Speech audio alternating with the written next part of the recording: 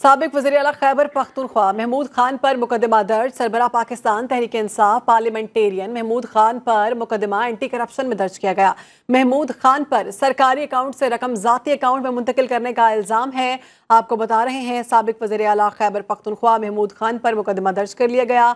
सरबरा Pakistan Tehreek Insaf parliamentarian Mahmood Khan पर मुकदमा anti corruption में दर्ज किया गया।